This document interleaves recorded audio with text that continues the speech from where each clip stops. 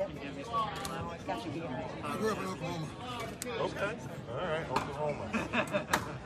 Yeah. I think it just get through Good you know. wrestling, right? Yep. And ah!